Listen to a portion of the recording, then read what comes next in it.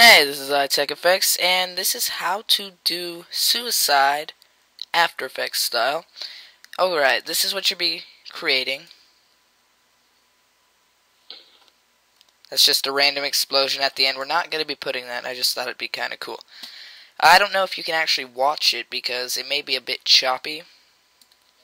But you get the general idea.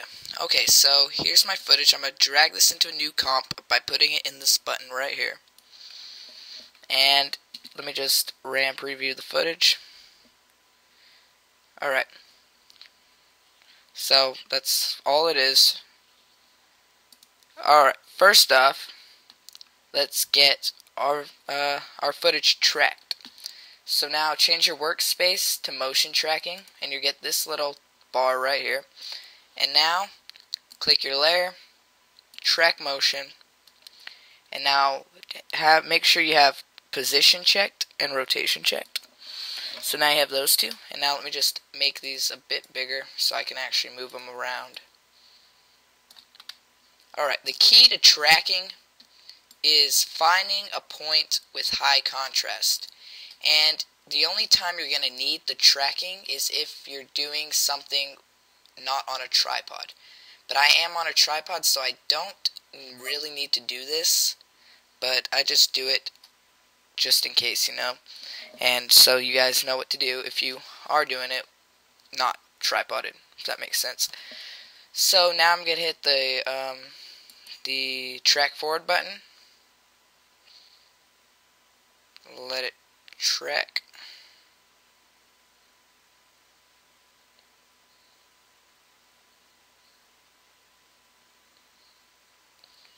Alright, now you're going to create a hit layer, new, null object, and then make sure your target, hit edit target, make sure it's set on the null. Okay, so now you have this null object right here. Now you're going to hit apply, apply X and Y, and hit OK. So now your uh, you have all the tracking of the shot into one null object. So now what we need to do is get rid of his head. Well, actually my head. And so what I'm going to do is duplicate the footage, Control D, and right click, time, freeze frame. But actually, you're not going to freeze the frame until you don't want it frozen. So let me undo that. You don't want it frozen until everything's blank right when everything is just a clean slate. So now, here we go. Time, enable time, I mean freeze frame. So now you have this frame frozen, but we don't need that. So take the parenting whip and uh, attach it to the null object. And remember, this is only for if you don't have a tripod. So this will keep the background with the actual background in the footage, if that makes any sense. So, yeah. Now, let's start to get rid of his head. Let's do a layer, a new solid, make this comp size, and make it white. So now you have this nice white solid. Put the null, put the null object on top of the white solid. So now what we're going to do is create a mask. So let me just turn that off. Take the pen tool, go to right right when his head gets blown off, which is hit page down until his head should be blown off right there. So I'm going to hit Alt begin bracket so it takes it down to where the time is, right there. So this solid will not come on until then. So now just take the pen tool, draw a mask around his head. So now you have this mask. If you turn it back on, you have this nice mask.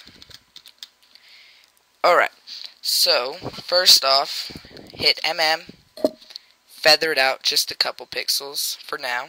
You can go back in and change this later. And now hit the white solid, hit P, and Shift and R. So now you have the position and the rotation. So now keyframe both of these by hitting the stopwatches.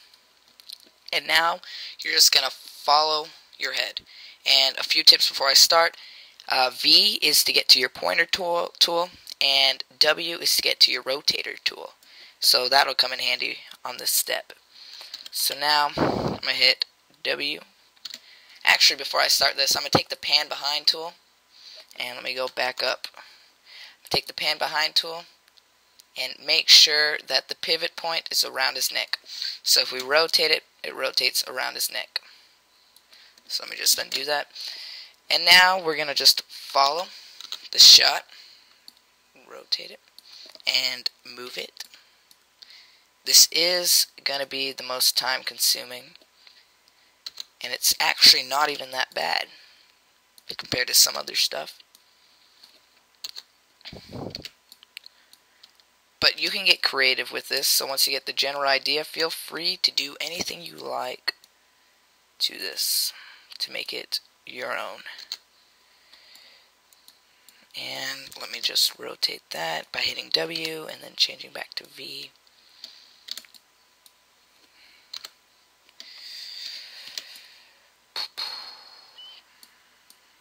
Maybe rotate it a little more and move it down page down. Now just follow it out. Maybe rotate it a bit. And take it out of the shot. So now, just go through. Right there could be a problem. We're going to have to move that. And now just page up and page down and make sure this mask stays generally with his head. Alright, so now that we have this we're gonna uh, deselect it so you can actually see it much easier. And that looks good. Maybe expand it a little and feather it. So hit MM. You can expand it, but I think I'm good for now. Feather it out 20, 20 so pixels. And that should do good for me right now. Alright. So, now let's take this footage, change its matte to alpha matte. So now look what you have. You have your head. But wait, you turn it on, your head is gone. And now this is where you have to make sure everything's nice. And some spots like right around here where it kind of shadows, there's not much you can do about that unless it's not a shadow. Like right now, I think that's just motion blur from my head, so I'm going to have to go in and um, change the mask. So, excuse me. Now let's just expand it a few pixels now. Maybe 8 pixels. And then maybe change the shape.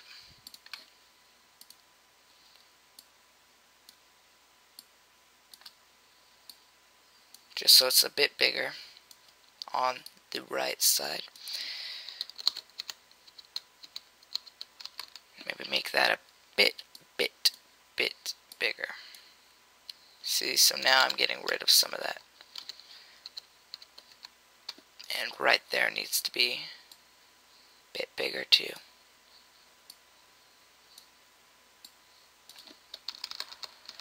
So that looks good. My head kind of appears right there. But this happens so fast, you actually don't have to make it look too perfect, but make it as good as you can. So that should be good. That should work for us right now. And you see how the gun kind of disappears right here? It's uh it's going to be like that, but the blood and all the muzzle flashes and everything will kind of cover it up somewhat. So, don't really have to worry about it.